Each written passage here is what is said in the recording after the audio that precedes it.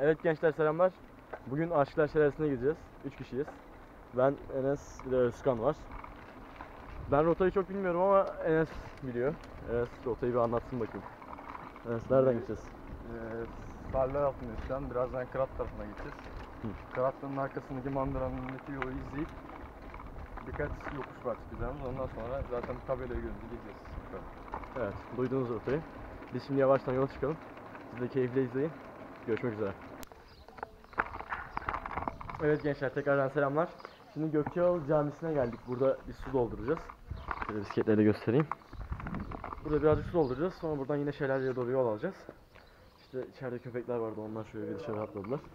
Hava 35 derece olarak gösteriyor şu an. Cami ölçeri. Hava yani birazcık sıcak. Bir de nem var. Yani siklet de var. Yağmur yağabilir. Yağmur yağma ihtimaline karşı yanımızda poşet aldık. Telefonlarımızı, kameralarımızı koymak için. Durum bu şekilde. Yolculuklar. Burada Gökçeoğlu'la Ay, pardon. Gökçeoğlu'la Nebiler arasında bir yola girdik. Bir köylüye sorduk. Nereden gidebileceğimizi sorduk. Bizi Böyle bir yola yönlendirdi. Yani tam olarak bahsettiği yol bu muydu bilmiyoruz ama biz bir şekilde bu yola çıktık. Şöyle ormanın içindeyiz yani şu an. Arkadaşın lastiği patladı. Ona sıvı yama koyduk birazcık. Şimdi toplanacağız. Date'nin uydu görünümünden baktım. Hatta size de göstereyim bir dakika. Uydu görünümünden baktığıma göre yol yani bu yolu takip etmemiz durumunda birazdan bağlanacağız. Şöyle göstereyim. Önce bizim yerimizi de göstermesi lazım. Biz neredeyiz lan?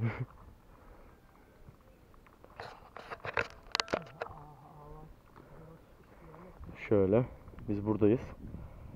Şimdi kendimizi şu yolda çevirelim. Bakın.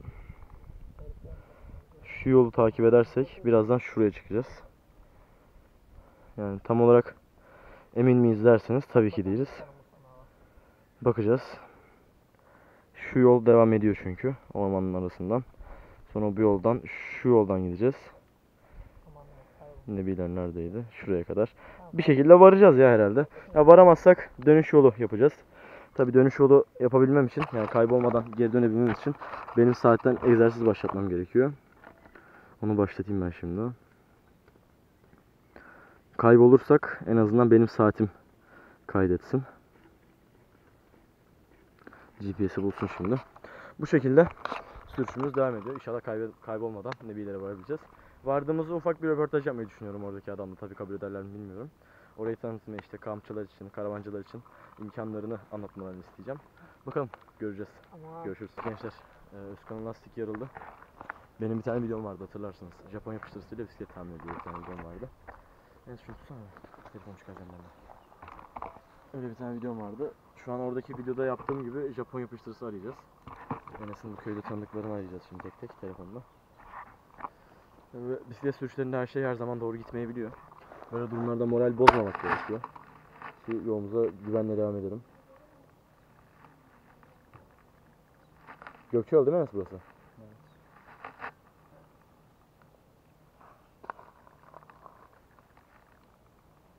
Söyle bana bana. Evet gençler. Dediğimiz gibi böyle şeyler olabiliyor dünyada. Moral bozmayacağız. Burada, burada yarıyı da göstereyim. Yarı şöyle. Tabi gösteremem şu an bir dakika. Yarık şöyle. Buraya Japon yapıştırıcısı dökmekten başka çaremiz yama yapmak olabilir ama o kadar vaktimiz yok. Saat saat bir dakika.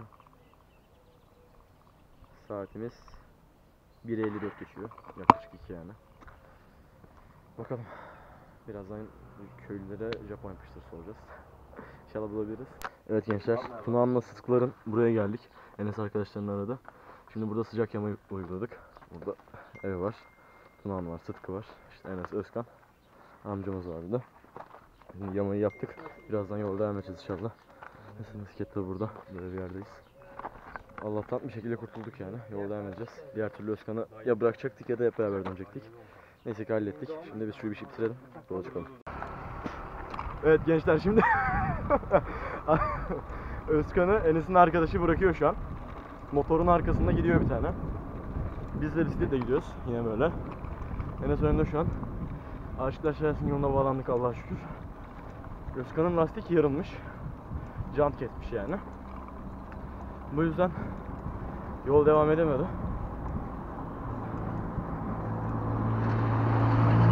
İşte tane motorun arkasında devam ediyor. Bisikleti orada bıraktı. Dönüşte bir şekilde düşüneceğiz. Şu an sadece o suya girmek istiyoruz. Çünkü gerçekten çok yorulduk. Yani yorulmak ama bedenen değil ruhen yani sürekli bir sorun çıktı. Ondan bir an önce suya doğru yola devam ediyoruz.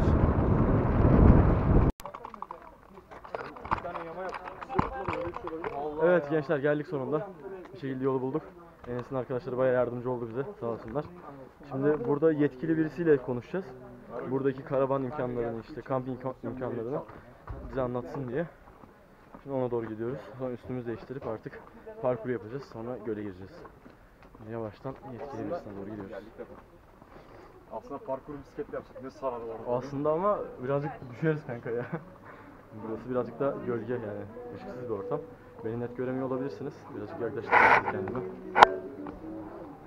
Sanırım bulduk yetkili kişi.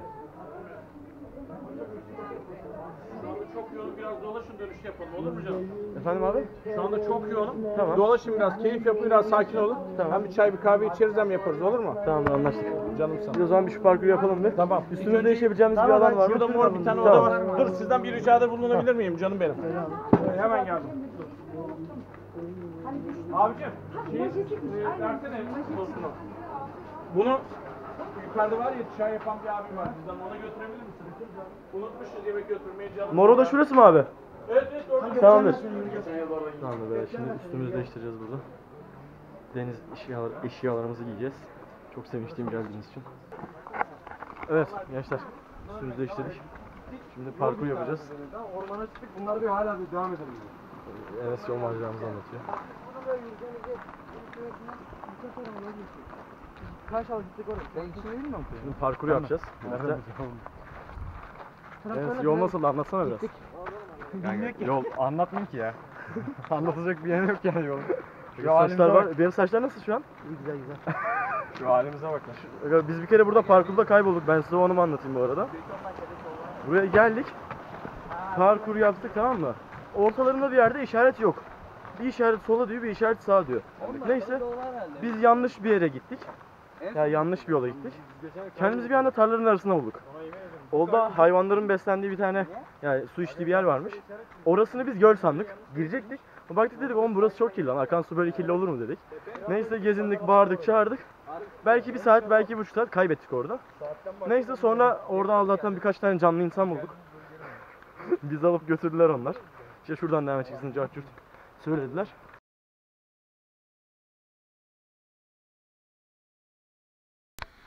Evet gençler geldik. Sesimi duyuyor musunuz bilmiyorum. Şu an Allah bir güzel atlayacağız. Cepleri kontrol et. Kolye molye yok. Hadi Enes atla. Atla. Köle atla. Arkadaş öldü gençler veda ettik. Ben de geliyorum. Enes beni çeksene. Al atıyorum. Atamadım. Geliyorum.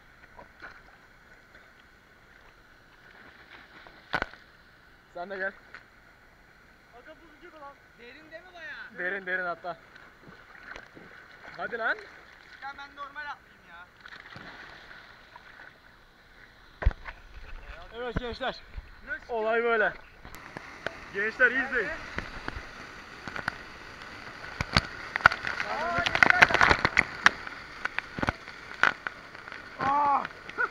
Acı verici.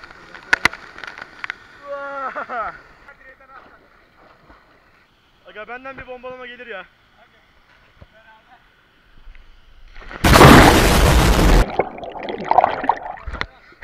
Hadi. Çekiyorum hatta.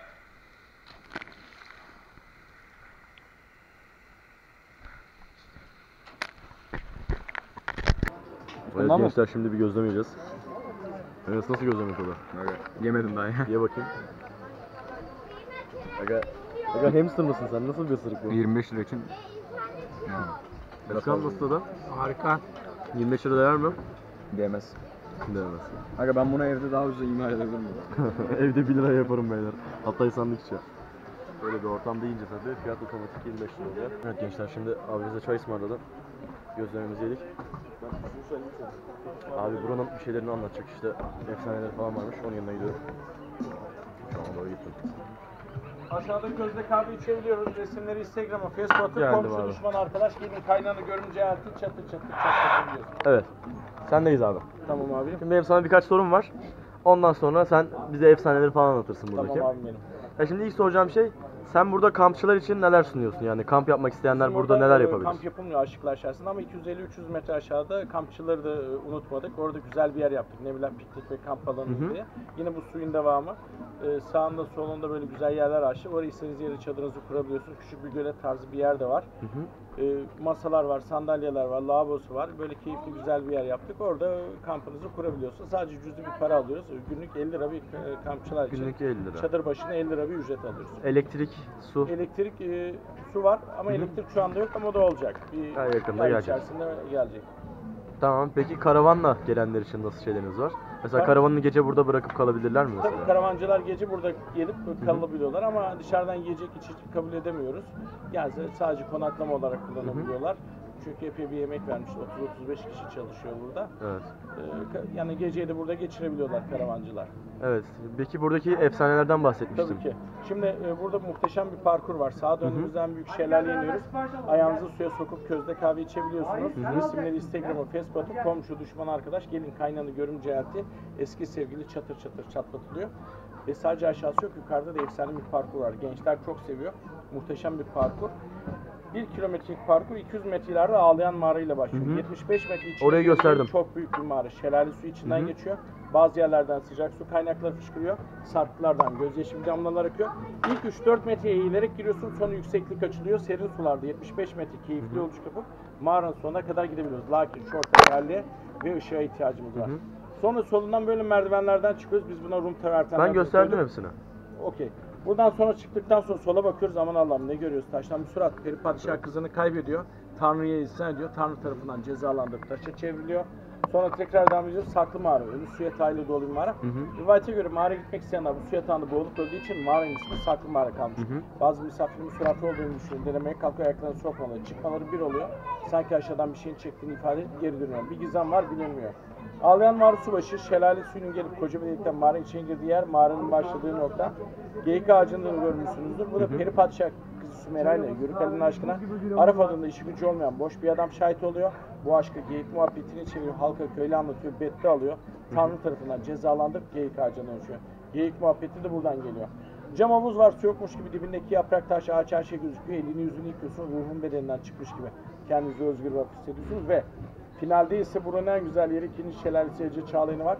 Kraliçenin havuzu Kleopatra'nın banyosunu yaptığı yer 6-7 metre derinliği var. 9-10 metre yukarıdan geliyoruz, koşuyoruz. Jaws, City, sıkıntı, yorgunluk gidiyor. Kuş gibi özgür olup pamuk gibi vererek geri dönüyoruz. Cennete hoş geldiniz. Hoş bulduk. Evet peki benim yani bu videoyu gören kişilere siz burada birer çay ısmarlar mısınız? Ismarlarız tabii ki. Ne Ya demek? Hakan'ın Siz YouTube kanalından gelsin diyelim Geldiklerini mesela. söylesinler, çaylar benden. Tamam anlaştık. Anlaştık. Teşekkür ederiz Saygılar. Görüşmek üzere. Görüşürüz abi. Ay pardon. evet gençler video bu kadardı. İzlediğiniz için hepinize çok- teşekkür ederim. Aşıklar Şahesi genel olarak böyle bir yer. Yani beğendik biz. Şöyle göstereyim yine girişini. Yavaştan gideceğiz. Hafif de yağmur bastırdı gibi yani bastıracak gibi. Elimize bir iki tane düştü. Görüşmek üzere. Hoşçakalın.